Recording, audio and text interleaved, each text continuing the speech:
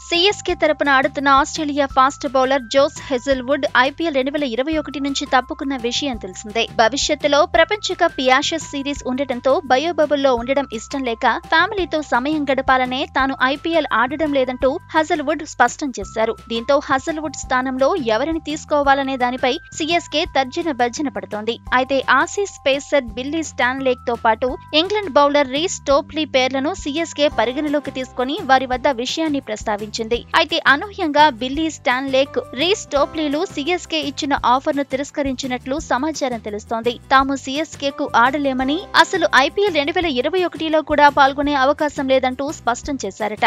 భారత్లో ఇటీవల కరోనా కేసులు భారీగా పెరిగిపోతున్నాయని ఒకవేళ ఐపీఎల్లో ఆడేందుకు వచ్చినా బయోబబుల్లో ఉంటూ మ్యాచ్లు ఆడాల్సి వస్తుందన్నారు. అందుకే సిఎస్కే ఇచ్చిన ఆఫర్ను తాము తిరస్కరించినట్లు ఈ ఇద్దరు పేర్కొన్నారట.